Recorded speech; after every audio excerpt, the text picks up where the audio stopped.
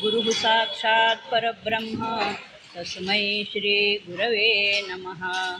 तस्मै श्रीगुरवे नमः। गुरुर्देवो महेश्वरः। गुरुः साक्षात् परब्रह्म। तस्मै श्रीगुरवे नमः। तस्मै श्रीगुरवे नमः। तस्मै श्रीगुरवे नमः। आज आपण ज्ञानेश्वरीच्या विचार सौंदर्याचा दुसरा भाग बघणार आहोत. मागच्या वेळेला ज्ञानेश्वरीच्या विचार सौंदर्य म्हणजे त्याच्यातल्या उपमा काय आहेत प्रेक्षा काय आहेत अलंकार काय आहेत कुठल्या कुठल्या उपमा सुचल्या त्यांना आणि त्या आत्ताच्या काळाशी कशा सुसंगत आहेत त्याच्यावरती आधारित अशी उदाहरणं पण मी सांगत गेली. म्हणजे मागचा होता तो मी पूर्वरंग असं म्हणणार नाही कारण कीर्तनामध्ये पूर्वरंग उत्तर रंग हा भाग वेगळा असतो. मग आत्ताचा जो मागचा झाला तो पूर्व रंग म्हणता येईल आणि आत्ताचा झाला तो उत्तरार्ध किंवा उत्तर भाग असं म्हणता येईल. खरं म्हणजे तो एक डोहच आहे. डोह म्हटलं ना तर त्यातलं पाणी असं साचलेलं वाटतं.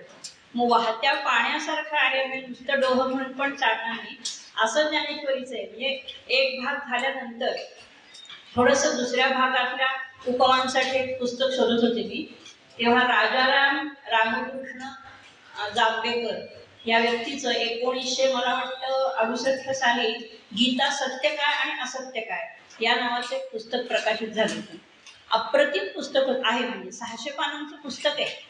आणि त्याच्यामध्ये त्यांनी काय म्हणजे सत्य काय आणि असत्य काय म्हणजे त्यांच्या म्हणण्यानुसार ते असं म्हणतात की अगदी पहिल्या अध्यायापासून शेवटच्या अध्यायापर्यंत म्हणजे अठराव्या अध्यायातला जो शेवटचा श्लोक आहे. यत्र योगे हा यत्र पार्थ धनुर्धर तत्र श्री विजयोर्भूती ध्रुवा नीतिर्मतिर्मम या श्लोकापर्यंत प्रत्येक श्लोक जो आहे ना तो श्रीकृष्णाने अर्जुनाला ताळ्यावर आणण्यासाठी म्हणजेच त्याला युद्ध करण्यासाठी त्याच्या कर्तव्याची जाणीव करून देण्यासाठीच सांगितलेला आहे. इतका म्हणजे त्याने अशी उदाहरणच मांडले झपाझप झपाझप झपाझप. आणि असं वाटतं की म्हणजे कसं आहे की आपल्या एखादी खूप मोठी भरलेली वस्तूंनी भरलेली बॅग आहे आणि प्रत्येकाला हवी आहे ती उचलून घेऊन जातो मनुष्य. वस्तूची उपमास असली कारण आपण सामान्य माणसं आहोत व्यवहारामध्ये राहतो व्यवहारामध्ये आपण सगळं बघत असतो. तर मग जे त्याने असं म्हटलंय की ज्याला जे आवडेल ते तो त्यातनं घेतो. म्हणजे एका शब्दाचे अनेक अर्थ आहेत फक्त एक दोन नाही एका शब्दाचे अनेक अर्थ आहेत. असं पहिल्या अध्यायापासून शेवटच्या अध्यायापर्यंत आपल्याला दिसून येतं. अनेक जणांनी त्याच्यावरती टीका केलेली आहे.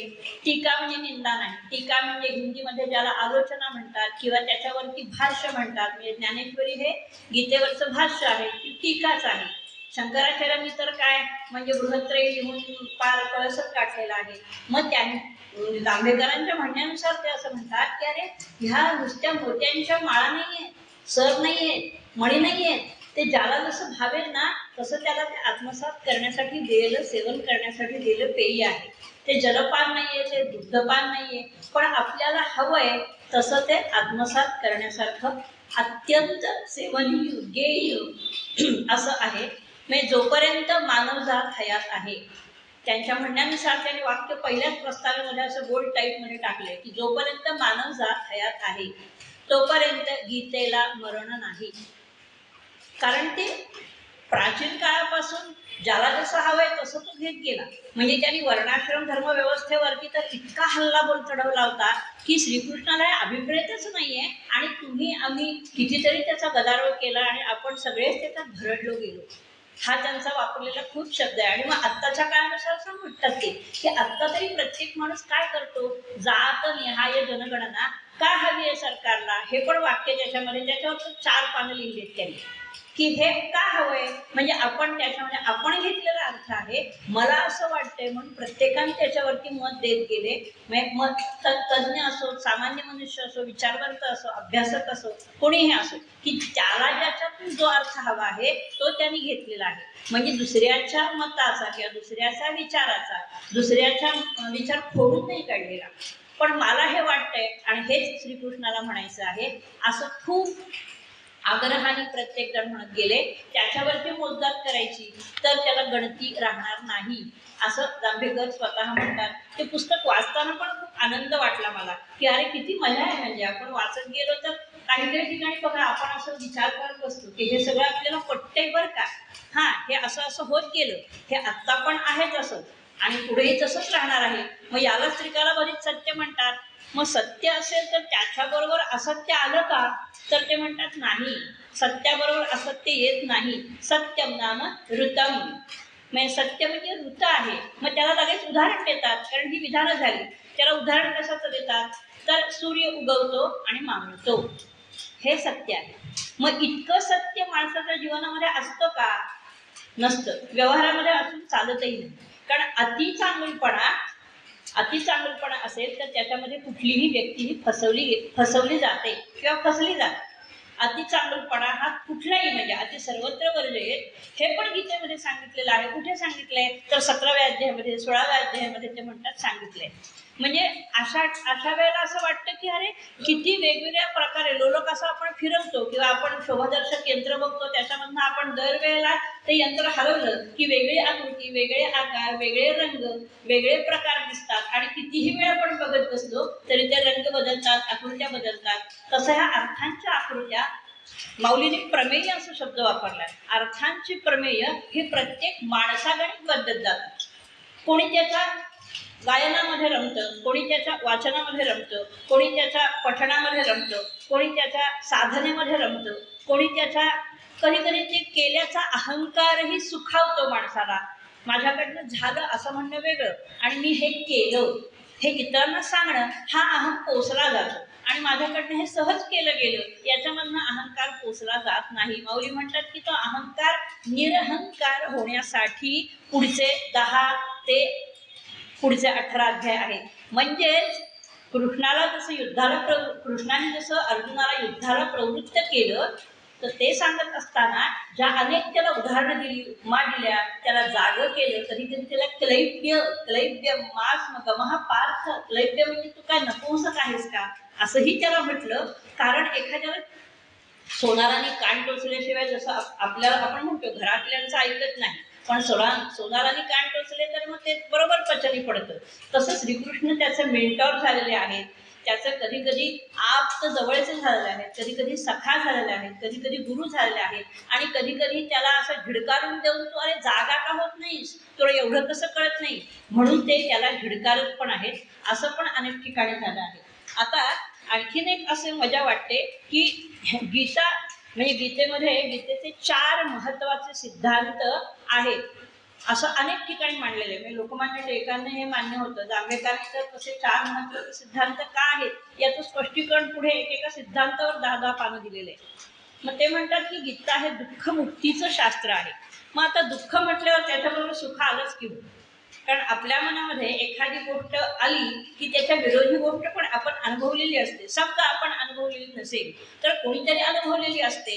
तो अनुभव आपल्याला श्रवणीय असतो आणि कुठला अनुभव आपल्या जास्त लक्षात राहतो. तर आपण स्वतः ज्या अनुभूतीतनं गेलो आहे त्या सुखद आणि दुःखद ह्या दोन्ही गोष्टी आपल्या कायम लक्षात राहतात. मग ते म्हणतात की गीता हे दुःख मुक्तीचं शास्त्र आहे. शास्त्र म्हणजे पद्धत आहे.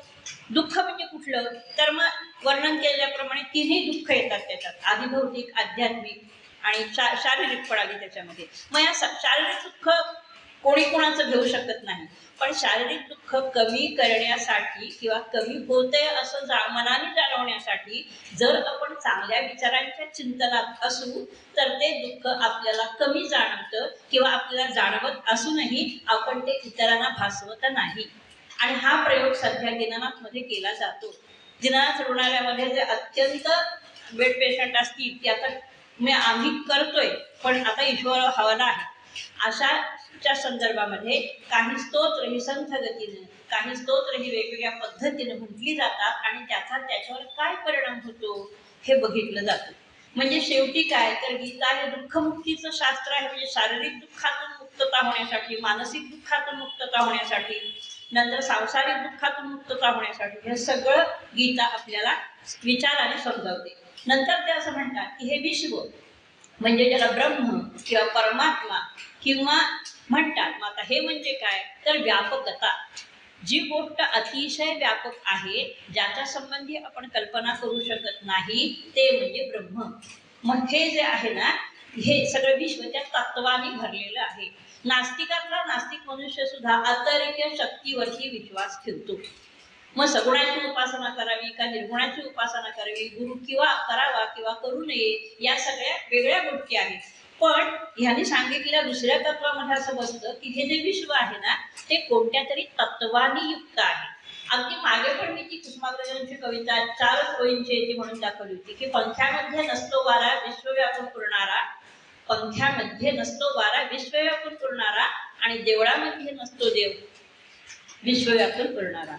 मग हे ह्या चार वहिनी आपल्याला समजतं की मी सगुणाच्या उपासनेतून निर्गुणाचा विचार तरी करू शकतो का? म्हणजे मी व्यक्तीकडून समष्टीकडे जाऊ शकते का? आता जे जे भे ते भूत ते ते मानी भगवंत हे विचार म्हणून योग्य असलं तरी ते सामान्य माणसाला पचनी पडत नाही. कारण प्रत्येक भूत जर भूतासारखंच आपल्यासमोर आलं तर आपण त्याच्याशी कसं भगवंत म्हणून वागणार? व्यवहारामध्ये हे शक्य नसतं. पण तरी सुद्धा त्या दृष्टीने विचार करण्यासाठी गीता आपल्याला प्रवृत्त करते किंवा सकारात्मक विचार करायला गीता आपल्याला प्रवृत्त करते. नंतर तिसरा एक जो सिद्धांत आहे तो ते असं सांगतात की ईश्वराची उपासना करावी का करू नये? हा प्रश्नच येता कामा नये तर तुम्ही सगुणाची करा किंवा निर्गुणाची करा. तुम्ही वैयक्तिक करा किंवा तुम्ही सामूहिक करा. आता जसं कुठलंही काम मी करत नाही असं माणूस जिवंत असेपर्यंत म्हणू शकत नाही. कारण गीते गीतेतलाच एक श्लोक आहे की पश्चन शृण्वन स्पृशन जिघ्रन आसनन गच्छन स्वपन श्वसन मी काही करत नाही म्हणणार व्यक्ती ह्या गोष्टी करतच असते. श्वासोश्वास घेत असते. भुवया उघडमीठ होत असतो खात असतो खाल्लेलं पचवत असतो झोपत असतो झोपेत उठत असतो ह्या क्रिया देखील जिवंतपणाचं लक्षण आहे. त्यामुळे त्या आपण जसं करत असतो म्हणजे ही एक प्रकारे देहाची उपासनाच झाली कारण ती केली नाही देहाची उपासना केली नाही तर तो देह राहणार नाही. म्हणून ते म्हणतात की व्यक्तिगत तुमची उपासना असू दे किंवा सार्वत्रिक असू दे ती कुठेही करत असताना त्याला सकारात्मक बाजू असावी नकारात्मक बाजू नसावी. म्हणजे आपल्या केलेल्या कुठल्याही कामाचा इतरांना त्रास होता कामा नये. हे जर व्यक्तिगत स्तरावरती जर प्रत्येकाने ठरवलं तर मग कशाला पुढच्या सगळ्याच गोष्टी टळतील ना? ह्या सिद्धांतातनं असा सगळा विचार मांडलाय.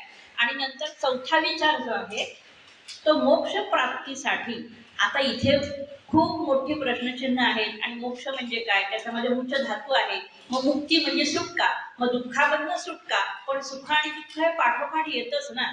मग त्यांना काय अभिप्रेत आहे? तर मोक्ष म्हणजे काय? तर या सगळ्या रहाटकाळ्यामधनं मी बाजूला उभं राहून अलिप्तपणे त्याच्याकडे बघू शकतो का? हे पण सामान्य माणसाला जगणं अवघड आहे. अशक्य आहे असं मी म्हणत नाही. आपल्यापैकी अनेकांना स्वरूपानंद स्वामी माहितीच पावसते. त्यांची जी वरप्रार्थना आहे. ते याचं उत्तम उदाहरण आहे. ते दोनच ओळी त्याच्या म्हणते ते असं म्हणतात उदारा जगदीधारा देई मज सागर स्वस्वरूपानुसंधानी रमो चित्त निरंतर. शरीरी ही घरीदारी स्त्री पुत्रारी कलत्रही. अनासक्त असो चित्त आसक्त त्वदनुग्रही नको धन नको मान नको लौकिक आगळा सोडवी हा परी माझा मोह पाशा तुनी गळा नको भोग नको त्याग बघा दोन्ही गोष्टी म्हटल्या भोगही नको आणि पूर्णपणे त्यागही नको नको भोग नको त्याग नको विद्या नको कला अवीट पद पदमाची अमला भक्ती देवला नरनारी हरी रूप दिसो बाहेर अंतरी. मी तू पण जगन्नाथा हो एक तत्वता या सगळ्या ओळी म्हणजे याचं नवनीत आहे. की मोक्ष प्राप्तीसाठी एकाहून एक सोपे उपाय गीतेमध्ये सांगितलेले आहेत. आणि ते गीतेचे मंत्र आहेत. त्यातलाच एक मंत्र स्वरूपानंदाने सांगितलेला. म्हणजे ही प्रार्थना अजूनही पावसला सकाळ संध्याकाळ समूहामध्ये सुंदर सुरामध्ये फार छान म्हटली जाते. आणि ऐकत असताना सुद्धा आपल्याला अगदी आपोआपच आपण स्तब्ध उभे राहतो. जसं राष्ट्रगीत म्हणताना आपण उभं राहतोच ही प्रतीक्षित क्रिया असते. तसं हीच प्रार्थना असं नाही. कुठेतरी अगदी शांत सुरात प्रार्थना चाललेली असेल तर आपल्याला ती हवीशी वाटते. आपण त्याच्यामध्ये मिसळून जातो कारण आपण एक त्या विश्वामधल्या शांततेचा एक घटक आहोत. म्हणून आणि मग हे चार सिद्धांत जे आहेत ना ते स्पष्ट करत असताना वेगवेगळ्या उपमा ज्या आले त्यातल्या चार पाच बघूया एके ठिकाणी ते असं म्हणतात सतराव्या अध्यायामधला काहीतरी मला वाटतं आठशेवी होती तर विवेकाचा अंकुर किती सुंदर उपमा वापरले बघा. अरे विवेकाचा अंकुर यावा लागतो. आता सध्या पाऊस पडल्यावरती अंकुर उगवले की शेतकऱ्याला किंवा आपल्याला बघताना किती सुंदर छान वाटतं. मग तो विवेकाचा अंकुर प्रत्येकाच्या ठिकाणी आहेच. पण आपल्याला संगत जशी असेल व्यक्तीची असेल सद्ग्रथांची असेल वातावरणाची जशी असेल त्या प्रमाणामध्ये आपल्या ठिकाणी विवेकाचे अंकुर फुटत जातात आणि त्याची पालवीपाल गगनापर्यंत मोहरली जाते. तर ते म्हणतात की मला निवृत्तीनाथांचा वरदहस्त आहेच त्यामुळे माझ्या ठिकाणी विवेकाचे अंकुर जे आहेत ना ते त्यांच्या वर्ग सामर्थ्यामुळे मिळालेले आहेत. आणि हे सगळे मी त्यांच्यामुळे करू शकतो. म्हणजे किती शारीरता किती विनम्रता असावी हे पण त्याच्यातनं शिकायला मिळतं. आता विवेकाचे अंकुर ठिकठिकाणी जागोजागी पण बघायला मिळतात आपल्याला. कारण जिथे संघटन आहे जिथे चातुर्य आहे जिथे अभिव्यक्ती आहे जिथे कला आहे जिथे कुठल्याही प्रकारचं चांगलं काम दिसून येतं तिथे विवेकाचा अंकुर असल्याशिवाय राहत नाही. कारण विवेक असला म्हणजे कामामध्ये विवेक असला बोलण्यामध्ये विवेक असला खाण्यामध्ये विवेक असला वागण्यामध्ये विवेक असला कोणत्याही प्रकारच्या मा- मानवी वर्तनात विवेक आला की त्याच्यामधला अमानुषपणा निघून जातो. म्हणजे आपल्या आपल्यातलं पशुत्व असतं ते रसातळाला जातं. असं नाही म्हणत मी रसातळाला येऊन परत वर येतं. पण ते विवेकाचा अंकुर असेल तर ते रसातळाला जातं ते दूर निघून जातं. म्हणजे अशा असा विचार त्यांनी केलेला आहे किती सुंदर विचार आहे बघा. कारण त्या ओव्या वाचून दाखवण्यापेक्षा म्हटलं असं सांगितलं तर मलाही ते बरं वाटलं आणि म्हणून मी ते तुमच्यापर्यंत मांडण्याचा प्रयत्न केला. दुसरं असं म्हटलंय की आदित्याची झाडे. आता आदित्याची झाडे ते कशासाठी वापरतायत अर्जुनाला म्हणतात की सूर्य कधी पश्चिमेला उगवतो का? आदित्य उगवला की तो पूर्वेलाच उगवणार? तो कधीही पश्चिमेला उगवत नाही. मग का तू भीतोयस का युद्धाला जात नाहीयेस? का उगीच काहीतरी मला खोट्या गोष्टी सांगतोयस? तुझा आतापर्यंतचा इतिहास बघितला तुझं युद्धामध्ये शंकराला सुद्धा नामहरण करणारा होतास आणि आता कुठल्या माता मारतोयस तू? त्यामुळे तू आदित्याची झाडं जशी कायम प्रकाशच देत असतात तसं तू तुझ्या कर्तव्याला अजिबात चुकायचं नाहीस. आणि तुझं कर्तव्य आता कुठलं आहे? तर युद्ध करणं हेच तुझं कर्तव्य आहे. युद्धामध्ये माणसं मारतात हे तुला आधी माहिती नव्हतं? आधी मेली नव्हती तुझ्या हात आणि तुझे तुझे भावंड आहेत म्हणून मरतील असं म्हणतोय त्याचं पाप तुला लागेल असं वाटतंय. मग अधिकारी तुझ्या लक्षात आलं. आतापर्यंत तुम्ही युद्ध केलंच नव्हतंच. असं म्हणून ते युद्ध प्रेरित करतायत. नवे नवे युद्धाला समोर उभा राहा आणि शेवटची शेवटची त्याला बजावणी. त्याच्या त्याच्यानंतर ते म्हणतायत विभूती दाखवतायत. नंतर विश्वरूप दर्शन दाखवते. ते दटावण्यासाठीच आहे जणू काही. आणि मग सगळ्यात शेवटी म्हणतात की आदित्य कधी अंधकार दूर करायचा राहील का? तसं तुझ्याकडून तू नाही म्हटलास ना तरी सुद्धा युद्ध झाल्याशिवाय राहणार नाही. युद्धाला तुला आपोआप उभं राहावंच लागेल. मी सांगतोय म्हणून नाही. तू स्वतःला अनन्य शरण म्हणून युद्धाला उभं राहतोस की नाही बघ? असं सगळं सांगत असताना ही उपमा वापरलेली आहे. आणखीन एके ठिकाणी फार छान उपमा आहे. त्यांनी असं म्हटलंय की सद्गुणांचा मेळावा म्हणजे समोर आहे. किती सुंदर उपमा आहे बघा. आपल्याला सगळीकडे असं तर काय अं, म्हणजे दुःखदायक किंवा निराशाजनक किंवा काय हे आमच्या काळात असं नव्हतं. आत्ता काय चाललंय असं? असा जर विचार मनात आला तर ही आनंदाचा मेळावा ही उपमा ज्ञानेश माऊलींची अगदी आपल्याला चपखल बसली. तर आनंदाचा मेळावा कुठे कुठे असेल? जिथे जिथे हृदगत मनोगत मांडलं जातं. म्हणजे हृदगत मनोगत आपण सगळ्यांना सांगत आपण आपुलकीने आपले वाटतात त्यांच्याजवळ वृद्धता आणि मनोगत मांडतो. कारण राजकारणी लोकांचं मनोगत वृद्धत वेगळं असतं. सामान्य माणसाचं वृद्धत आणि मनोगत वेगळं असतं. त्याच्यामध्ये स्तर वेगळे असतात. पण आपुलकीने जिथे आपुलकी असते ना तिथे हा सद्गुणांचा मेळावा असतो. म्हणजे आपण एखाद्या व्यक्तीला दोषासकट स्वीकारतो. त्याचे दोष आहेत कारण प्रत्येक जण प्रत्येकच माणूस सद्गुणांचा पुतळा नसतो आणि दुर्गुणांची खाणी नसते. कारण ते दोन्ही आहे. म्हणून तर माणसं माणसामध्ये जिवंतपणा आहे. म्हणजे सुष्ट माणसाला किंवा सज्जन माणसाला समाजामध्ये प्रतिष्ठा का आहे? अरे दुर्जन आहे म्हणून सज्जनाची किंमत आहे. एवढं तरी ते म्हणतात तुमच्या लक्षात यायला पाहिजे. म्हणून तो सद्गुणांचा मेळाव्याला महत्त्व का आहे? तर कावळ्यांचा मेळावा कावळ्यांची जत्रा म्हणून अत्रेंची कविता होती बघा. कावळ्यांची जत्रा नावाची अत्रेंची कविता होती. त्याच्यामध्ये सद्गुणांचा मेळाव्याला का महत्त्व आहे? तर दुर्गुणांचा जेव्हा जथा भरेल ना तेव्हा सद्गुण त्यांच्यावर मात करतील आणि भलं माणसाला कळेल तेव्हा सद्गुण यांच्या मेळाव्याला महत्त्व आहे. आणखीन एका ठिकाणी असं म्हटलंय त्यांनी की विचारांचा दिवा हा सतत तेवत राहायला पाहिजे. हे म्हटल्याबरोबर मला आपल्याला त्या गंगेची आरती आठवली बघा. गंगेवरची लोक दिवे सोडून देतात आणि ते इतकं सुंदर मनोहारी दृश्य दिसतं की मग विचारांचे दिवे हे पिढ्यान पिढ्या तेवट ठेवले गेले पाहिजे म्हणजे घरामध्ये अजूनही प्रत्येकाच्या घरामध्ये समय ही तेवते पणतीही तेवते. आणि ती आपल्याला प्रसन्नता देते. मग विचारांचा दिवा हा माणसाला प्रसन्नता द्यायला पाहिजे. आनंद द्यायला पाहिजे असं नाही. तो सहजपणे दिला जातो. तो प्रदान होतो. म्हणून ते म्हणतात की विचारांचा दिवा हा कोण देऊ शकतं? कोणीही देऊ शकतं.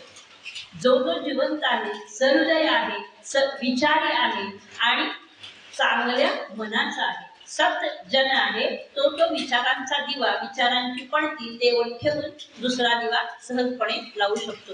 रामकृष्णाने असे कित्येक दिवे लावले हो. रामकृष्णांचे सगळ्यात प्रख्यात एकोणीस त्यांचा एकोणीस शिष्य होते त्यांचे. त्यातला आपल्याला सगळ्यांना जगात माहिती असे विवेकानंद तर आहेतच. पण त्यांनी सुद्धा काउन सुलाखून रामकृष्णांचं परी परीक्षा घेऊन ते गुरु आपल्याला स्वीकारलं होतं. मी म्हणजे मला ध्यानच करायचं आहे मला संन्यासच घ्यायचा आहे आणि मला ध्यान करून एकट्याला कडेकपाली जायचं आहे. तेव्हा ते त्याला म्हणाले होते नाही नाही तू नाही तुझे हा तुझे हाड परदेशात म्हणजे परप्रांतात जाऊन काय आपली भारतीय संस्कृती आणि परंपरा आहे त्याचा दिवा तेवट ठेवतील. असं ते त्यांना म्हणाले होते. विचारांचा दिवा हे उदाहरण आपल्याला खूप ठिकाणी आपल्याला बघता येतं. नंतर अजून एक त्यांनी खूप सुंदर उपमा वापरले की विवेक तीर्थ तट.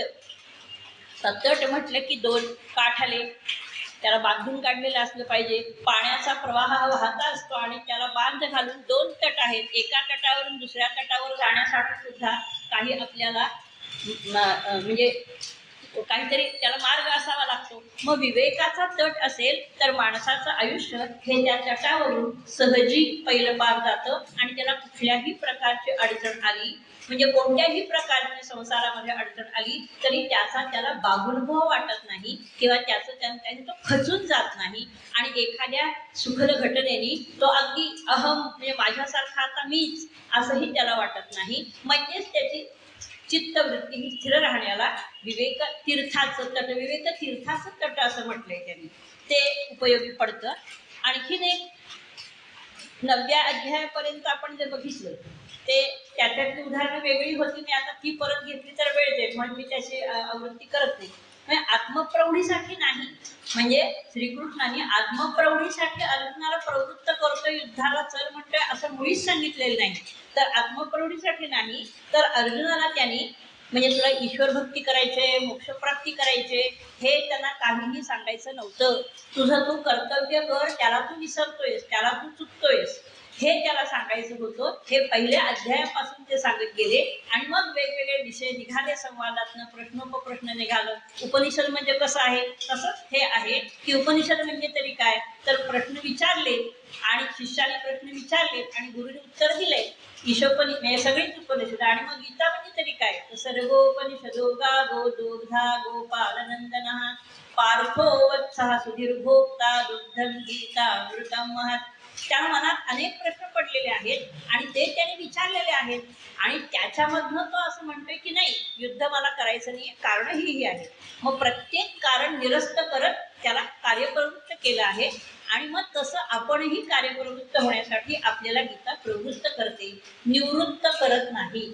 आणि निवृत्त झालं तरी सुद्धा काही गोष्टींमध्ये आपल्याला जिवंत आहे तोपर्यंत प्रवृत्ती ही लागतेच. म्हणजे प्रवृत्ती ही अस असावीच लागते नाहीतर आपण परावलंबी जिणं हे कुणाला हवं असतं सांगा बघू. कुठल्याच व्यक्तीला परावलंबी जिणं कुठल्याही अर्थाने नको असतं. मग ते जर नको असेल तर तू तुझ्या कर्तव्याला चुकू नको हे अर्जुनाला सांगतायत आणि तो अर्थ आपण घेतो म्हणजे आपल्याला तो सोयीचा असतो म्हणून नाही आपल्याला तो आवश्यक असतो म्हणून आपण तो घेतो. नंतर दहाव्या अध्यायामध्ये दुसरा आणि तिसरा जो श्लोक आहे ना तो पण फार फारच सुंदर आहे. म्हणजे त्याच्यामध्ये काय सांगतात ते? तर आपली जी बुद्धी आहे ज्ञान आहे जागरूकता असते आपल्याकडे. क्षमाची वृत्ती असते. सत्यानवेशी वृत्ती असते. इंद्रिय निग्रह असतो. प्रत्येकाकडे उपास तरी आपल्याला काय शिकवतात?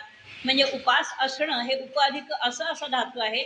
उपास करणं म्हणजे आपल्या इंद्रियांवरती संयमच आहे ना? एखादी गोष्ट केली आणि मी खाल्ली नाही तर ते संयमाचंच द्योतक आहे. चार महिने एखादा मी एखादी गोष्ट खाणार नाही ते संयमाचंच द्योतक आहे. म्हणजे त्याची किल्ली उडवणं किंवा टर उडवणं ही गोष्ट अभिप्रेत नसून तो इंद्रिय निग्रह नंतर सुखदुःख ही तर प्रत्येक माणसाला असतातच आपल्या म्हणजे असतात म्हणजे त्याच्याशिवाय आपण माणूस म्हणून नाही जगू शकत. नंतर भय अभय अहिंसा समता संतोष त्याच्यानंतर दान यश अपयश या निरनिळ्या प्रकारचे प्राण्यांचे भाव जे आहेत ना ते जर आपल्याला समजले नाहीत म्हणजे आपल्या लक्षात आले नाही तर आपण माणूस समजून घेऊ शकत नाही. एखादा माणूस म्हणजे कुठलीही गोष्ट आनंद झाला आनंदाच्या भरात तो एखादी चांगली म्हणजे गोष्ट केली तर ती विपरीत इतरांना वाटते त्यांनी का केलं असं? अशी कारण मी माणसं आपण जर केली नाही एखाद्या एखाद्याने जर का दुष्कृत्य केलं आणि त्याचं त्याला पराकोटीचं दुःख झालं आणि तो खचून गेला तर तेही त्याने त्या परिस्थितीत त्याला ते का करावं लागलं असेल? असा विचार न करता दोन्हीही अतिरेकाच्या गोष्टी झाल्या तर त्या माणसाला कार्य प्रवण न करता कुठेतरी आयुष्य संपवायला प्रवृत्त करतात. तसं होऊ नये. म्हणून ते म्हणतात की हे सगळे जे भाव आहेत ना ते त्रिगुणात्मक आहेत. सत्व रज आणि तम हे त्रिगुणात्मक आहे आणि मग ते माणसाच्या ठिकाणी असतात तर ते माझ्यातूनच उत्पन्न झाले आहेत. म्हणजे सगळ्या भावभावना ज्या आहेत त्या ब्रह्म नावाच्या तत्वापासून एकात्मतेपासूनच निर्माण झाल्या आहेत आणि त्यामुळे माणूस नावाची जात आहे. आणखीन एक म्हणजे कठोपनिषदात असं म्हटलंय की नचिकेत आणि यमाचा संवाद आहे ना तिथे पण मला हा हे साम्य वाटलं. म्हणून मी त्या चार ते चार गुण इथे घात सांगते की मगाशी आपण म्हणले ना विवेक तरुचा विवेकचा अंकुर. तर मग विवेक माणसाच्या ठिकाणी असतो. मग काही वेळेला आपणही असं म्हणतो की अरे माझ्या मनात तेव्हा का हा विचार आला नाही? तेव्हा मी ह्या विचाराने का वागलो नाही? तसं मी वागलो नाही. की तसं माझ्याकडनं झालं नाही तर नुकसान माझंच झालं. हे आपलं आपण परीक्षण करताना सुद्धा आपल्याला कळतं. मग विवेक असायला पाहिजे प्रत्येक गोष्टीमध्ये. एखाद्या व्यक्तीबद्दल किंवा आपली आपल्यावरती पण श्रद्धा पाहिजे. म्हणजे आपला आपल्यावरती विश्वास पाहिजे. मग तो फाजील विश्वास पण नको. आणि न्यून पण नको. की आप आपल्या क्षमता आपल्याला ओळखता आल्या पाहिजेत या अनेक वेळा येत नाही. आणि मग म्हणून फाजील आत्मविश्वास मुलांच्यामध्ये पण निर्माण होतो पालकांच्यामध्ये पण निर्माण होतो आणि समाजामध्ये पण निर्माण होतो. आणि भक्ती म्हणजे काय? नमस्कार करणं ह्या सगळ्या नवविधा भक्ती आहेत. त्या भक्ती इथे अभिप्रेत आहेत का? तर आहे. पण सामान्य जीवनाच्या माणसामध्ये विवेक श्रद्धा आणि भक्ती मग भक्ती म्हणजे मी जे करायचं ठरवलं आहे ते मी मनापासून केल्याशिवाय राहणार नाही. म्हणजे भक्तीचं वरची पायरी हा संकल्पामध्ये येते. आणि संकल्प हा दृढ असतो. संकल्प आग्रही असतो पण त्याच्यात दुराग्रह नसतो. पण विकल्प मनामध्ये येऊ देता कामा नये हेच अनेक ठिकाणी म्हणजे भगवान श्रीकृष्ण अर्जुनात तेच सांगतात की तुझ्या मनामध्ये विकल्प का निर्माण होतो युद्ध का करायचं नाहीये तुला? अनेक गोष्टी तू सांगतोस पण त्या सगळ्या वरच्या भूलतापा आहेत त्या मला मान्य नाहीत. मग तसंच माणूस मला हे करायचं नाहीये असं म्हणत असतो ना तेव्हा ते त्याला करणं क्रमप्राप्त असतं तरी तो टाळत असतो. मग तेव्हा ह्या गोष्टी विचारात घेतल्या त्याच्यानंतर संयम हा पण कुठेतरी त्या इंद्रिय निग्रहापाशीच जातो आणि निर्मोही वृत्ती. मगाशी मी जे स्वरूपानंदांचं म्हणून दाखवलं त्याच्यामध्ये पण ऐकत असताना आपल्याला ती निर्मोही वृत्तीच जाणवते. म्हणजे त्यांच्याकडे बघितलं ना की इतकं सात्विक इतकं आनंदी. म्हणजे लहान मूल बघितल्यानंतर जसं आपल्याला आपण निरागस म्हणतो कुठलंही लहान मुलाकडे बघितल्यानंतर त्याच्यात काही द्वेष मत्सर ही भावना नसते. तसं स्वरूपानंदांच्या फोटोमधल्या चेहऱ्याकडे बघितलं तरी असं वाटतं. तुम्ही सज्जनगडला गेला असाल तर तिथे श्रीधर स्वामींचा मोठा फोटो आहे बघा श्रीधर कुटीमध्ये. आणि हात असा आशीर्वादपर आहे. आणि तो चेहरा सुद्धा इतका बोलका आहे. म्हणजे आता हे सांगत असताना निर्मोही वृत्ती म्हटल्यानंतर तो चेहरा मला डोळ्यासमोर आला. आणि व्यक्ती अशा असतात की आपल्या त्या आपण गेल्यानंतर बोललो नाही तरी प्रसन्न जाणवतं आनंदी वाटतं. कारण त्या ठिकाणी निर्मोही वृत्ती कायम नसे नाही. पण आपल्याकडे सुद्धा कधी कधी आपण म्हणतो बघा की वयानुसार असं नाही कुठल्याही वयामध्ये क्षणिक का विना निर्मोही वृत्ती माणसाला येऊ शकते. जशी आसक्ती येऊ शकते तशी निर्मोही वृत्ती पण येऊ शकते. म्हणजे खूप आहे म्हणून निर्मोही वृत्ती आहे असं नाही. आणि माझ्याकडे काही नाहीये म्हणून निर्मोही वृत्ती आहे असंही नाही. निर्मोही वृत्ती हे भगवान श्रीकृष्ण म्हणतात की जन्मत एखादा माणूस जसे आपण गुणसूत्रातनं काही गुण घेऊन येतो तशी काही माणसे ही निर्मोही जन्मत असतात. कबीर निर्मोही होते. कबीर म्हणजे सगळे संत निर्मोही होते असं म्हणणं चुकीचं नाहीये. पण सामान्य माणसाच्या ठिकाणी सुद्धा ही निर्मोही वृत्ती कधी कधी आपल्याला दिसून येते. जसे विवेकाचे अंकुर नकळतपणे दिसतात आणि आपल्याकडनं चांगलं काम होऊन जातं तसं निर्मोही वृत्ती सुद्धा सामान्य माणसाच्या ठिकाणी दिसते आणि त्याच्याकडनं खूप मोठं काम होऊन जातं. त्याचं उदाहरण पण आपल्याला अनेक वेळा दिसतं. एखादं संकट आलं तर किती मदतीचे हात धावून जातात? संकट म्हणजे पूरप्रवृत्ती असेल पूरसदृश परिस्थिती असेल किंवा आवर्षण असेल आणखी कुठलीही गोष्ट असेल अशा पद्धतीची तर ती निर्मोही वृत्ती म्हणजे सढळ हाताने माणूस देतो पुढे मागे विचार करत नाही. मग ती निर्मोही वृत्तीच माणसाला प्रवृत्त करत असते काम करायला. मग या सगळ्या ज्या वृत्ती आहेत तो नचिकेत आणि यम यांच्या संवादामध्ये यम म्हणतोय की अरे तुझ्याकडे ह्या सगळ्या गोष्टी आहेत. म्हणून मी तुझ्या प्रश्नाला उत्तर देतोय. तुझ्याकडे संयम आहे तुझ्याकडे विवेक आहे तुझ्याकडे श्रद्धा आहे भक्ती आहे आणि निर्मोही वृत्ती पण आहे. तू तुझ्यासाठी काहीच मागत नाहीये. हे मी बघितलं आणि हेच गीतेमध्ये पण आपल्याला बघायला मिळतं. त्याच्यानंतर काम तर केलंच पाहिजे. असा आग्रह ते सर्वसामान्य माणसापासून जोपर्यंत आपण आहोत तोपर्यंत काम केलंच पाहिजे. हा च हा अत्यंत आग्रहपूर्वक पहिल्या अध्यायापासून शेवटच्या अध्यायापर्यंत धरतात ते. आणि मग तो म्हणतो की अर्जुन म्हणतो त्याला की नष्टो मोह हा माझा आता सगळा मोह समोह शंका सगळ्या गळून पडले करिष्य वचन तव आता मी तुझं काय ते तुझी काय आज्ञा असेल तुझा काय शब्द असेल तू घ्यायला तयार आहे तो म्हणतो माझं काहीही म्हणणं नाही युद्ध कर. मग तसंच सर्वसामान्य माणसाला तुझी सबबीत टाळू नको तू तुझं काम कर. ती टाकून चालणार नाही कारण चालणार नाही म्हणजे काही माणसं असं त्याला त्याला छेद घेतात बरं का. म्हणजे त्याला उहापोह असं म्हणतात. तत्वज्ञानाच्या भाषेमध्ये त्याला उहापोह म्हणतात. की आता हा समजा आहे ना की काम टाळ टाकून चालायचं नाही आपल्याला. मग दुसरा पक्ष असं म्हणू शकतो की तुम्ही नाही केलं म्हणून काम राहणार आहे का? तुम्हीच तिथे पाहिजे असा आग्रह का? तुमच्याशिवाय काम चालू राहणार नाही. पण असं नाही आपल्याशिवाय काम होऊ शकतं. म्हणजे आपण इहलोक सोडल्यानंतर काय डगरहाटी चालू राहत नाही का? शो मस्ट गो ऑन काम चालूच राहतं की. पण आपण जिवंत आहोत जिवंतपणाचं लक्षण म्हणून ते काम करणं व्यक्ती म्हणून. मग अशी म्हटलं तसं उन्मिशन निविशन जिग्रन श्वसन श्वपन श्वसन या सगळ्या गोष्टी आपला आपल्यालाच करायला लागतात. मग त्या दुसऱ्या कोणी करून चालत नाही. व्हेंटिलेटर लावला तरी सुद्धा तो श्वास त्या व्यक्तीलाच घ्यावा लागतो. हे जितकं सत्य आहे जितकं वृत्त आहे तेवढंच आपलं काम आपण करणं ते दुसऱ्याकडनं करवून घेणं ही कला अनेकांना जमते. पण आपलं काम आपण करण्यामध्ये आनंद असतो आणि तो करणं हे कर्मप्राप्त नाही. तो माणसाचा सहज स्वभाव झाला पाहिजे आणि सहज स्वभावाला गीतेमध्ये कृष्णाने धर्म हा शब्द वापरलेला आहे. मग धर्म हा शब्द तर अनेकांनी अनेक अंगाने अनेक ठिकाणी अनेक प्रकारे आणि सगळ्या धर्माची तत्व मगाशी मी चार सांगितली तशीच आहे. पहिले चार सिद्धांत सुरुवातीला सांगितले तीच सगळ्या धर्माची तत्व आहे. माणसाने माणसाची माणसास वागणे हीच आमची प्रार्थना आणि हेच आमचे मागणे. याच्या ह्या ओळी व्यतिरिक्त कुठल्याही धर्मामध्ये काय पद्धती वेगळ्या असतील विचार वेगळे असतील सांगण्याचा भाषा वेगळी असेल उदाहरणं वेगळी असतील मग अनुयायी त्याचं अवडंबर माजवतात. आता वर्णाश्रम व्यवस्थेवरती अशाच प्रकारे आपण झोप उठवली आणि आपण त्याचं संकर वर्णसंकर आपण केलेला आहे. पुढच्या पिढ्यांनी केलेला आहे.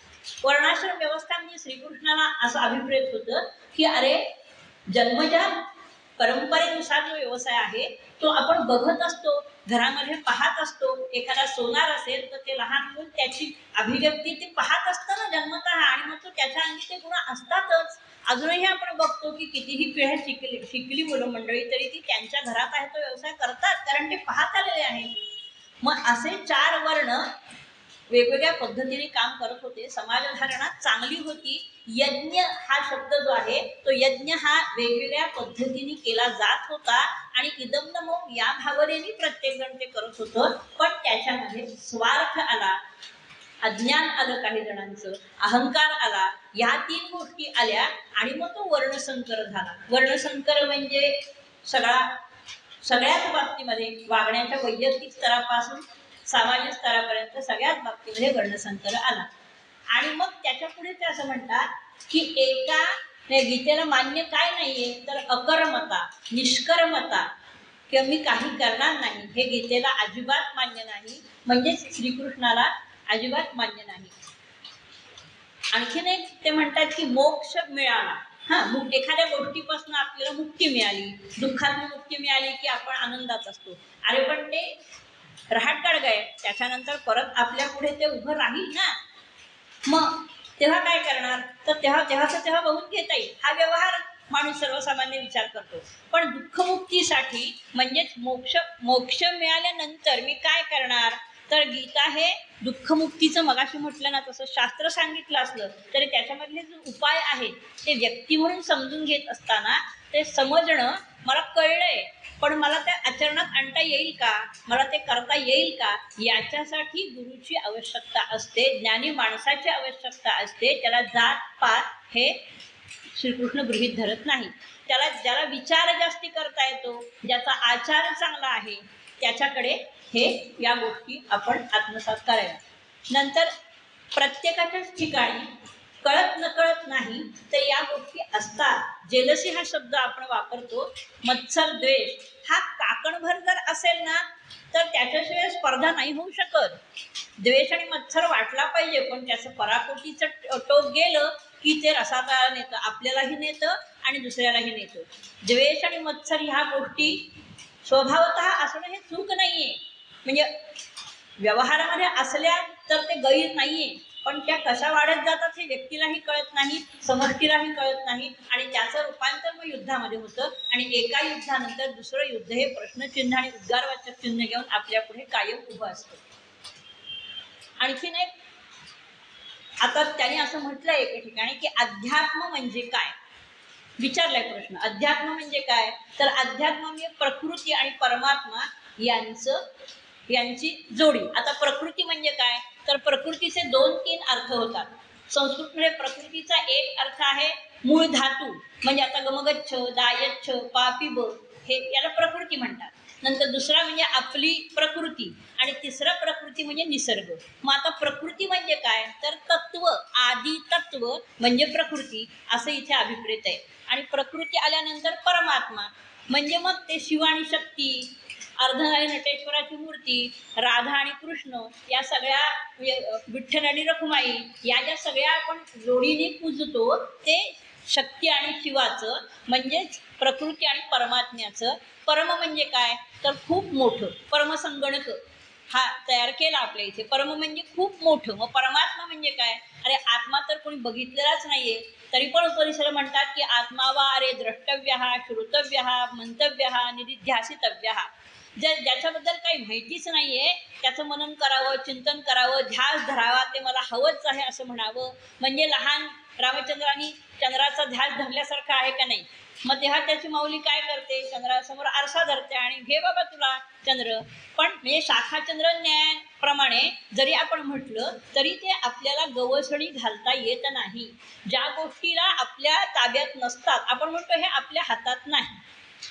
मग आपल्या हातात ज्या गोष्टी नसतात त्याच्याबद्दल आपण उगीच हळहळ करण्यापेक्षा त्या समजून घेण्याच्या बाबतीमध्ये जर प्रयत्न केला तर कधीही आपल्याला ते सोपं पडतं. म्हणून ते असं म्हणतात म्हणजे त्या पुस्तक मी जे वाचलं त्याच्यामध्ये त्याने असं तीन मग तीन त्रिपुटीबद्दलचं सांगितलं होतं की पुढच्या पुढच्या अध्यायांमध्ये म्हणजे पंधरा सोळा सतरा या अध्यायांमध्ये ते असं म्हणतात की त्रिपुटी हे माणसाच्या आयुष्याचं अविभाज्य घटक आहे. आता मला थोडंसं त्याने असा विचार केला होता की आपण एकावर एक कुठं चढवतो की नाही? तर माणसाच्या आयुष्यात कुठं चढलेली असतात. कधी कधी अज्ञानाचं असतं कधी कधी मोहाचं असतं कधी कधी दुःखाचं असतं कधी कधी आनंदाचं असतं कधी अहंकाराचं असतं. अशी कुठं असा विचार त्याने केला होता. पण मग त्रिपुटी म्हणजे काय गीतेमध्ये सांगितलेली आहे? की कर्ता कर्म आणि क्रिया. म्हणजे हा मी काम करतोय काम कुठलं करायचं हे मला माहिती आहे. नुसतंच ह्या दोन गोष्टी माहिती असून चालत नाहीत. ती क्रिया पण झाली पाहिजे. त्याच्यानंतर ज्ञान ज्ञाता आणि ज्ञेय. ज्ञान हे आहे. मला हे हे समजून घ्यायचे माहिती आहे आणि ती ज्ञेय वस्तू आहे ती मला मिळाल्याशिवाय मला चैन पडणार नाही. नंतर श्रोता श्राव्य आणि श्रवण. म्हणजे इथं वक्त्याला अभि अधिष्ठान नाही आहे हे मुद्गल पुराणातलं मी घेतलंय की श्रोता हा सुजाण असतो आणि असावा असा अपेक्षित आहे मुद्गल पुराणात. दुसरं श्राव्य. श्राव्य काय आहे? मला काय ऐकायचं आहे? आणि श्रवण. मग मी ते श्रवण कसं करतो आहे? म्हणजे कानावर पडतं. मग त्यातलं नेमकं मी कसं ठेवेन? आणि बाकीचं गेलं तरी कसं चालेल? ह्या तीन त्रिपुटी आहेत. नंतर द्रष्टा दर्शन आणि दृश्य. म्हणजे बघणारा काय बघायचं आहे मला ते दर्शन घेतलं आपण असं म्हणतो. आणि दर्शन आपण बघा. सगळेजण देवापुढे गेले की डोळे मिटून दर्शन घेतो. म्हणजे आपण ते साठवतो डोळ्यामध्ये आणि डोळे मिटून आपण आपल्यासमोर ते म्हणजे आपण सगुणाकडून निर्गुणाकडे जातो की नाही बघा. त्याच्यानंतर वक्ता वक्तव्य. आपण म्हणतो बघा काय वक्तव्य आहे? आपण हे उपहासन म्हणतो पण वक्ता वक्तव्य आणि वाच्य म्हणजे काय बोल बोलणं नेमकं झालं? वक्ता हा आहे वक्तव्य आणि वाच्य. म्हणजे काय त्याला नेमकं? म्हणजे वाच्यमध्ये सुद्धा मी बोलताना सांगितलेला अर्थ त्याच्यामधनं छुपा अर्थ बिटवीन द लाईन्स ज्याला आपण असं म्हणतो तो व्यंगार्थ सूचितार्थ असे अनेक अर्थ असतात. मग त्यातला कुठला त्या वक्त्याला सांगायचा आहे? नंतर सात्विक राजसिक आणि तामसिक ही प्रत्येकाच्या ठिकाणी असतात. मग सत म्हणजे हे आयुर्वेद पण मान्य करतं. अन्नाच्या बाबतीत पण तसं आहे. भोक्ता भोजन आणि भोज्य. नंतर विचार आचार आणि उच्चार. हे ज्याचे समान असतात त्यालाच आपण संत म्हणतो किंवा त्यालाच आपण व्यवहारात भला माणूस म्हणतो. त्याला त्याचं लोक मानतात. त्याला आदर्श मानतात. त्याचा समाजामध्ये वचकही असतो. तो ज्ञानी असतो नु- जो नुसता ज्ञानी असतो त्याचं ज्ञानाला महत्ता असते. पण विचार आचार आणि उच्चार हे ज्याचे सारखे आहेत ना तो खऱ्या अर्थाने समाजामध्ये धन्य असतो किंवा मानतात त्याला लोक कुठल्याही क्षेत्रातली.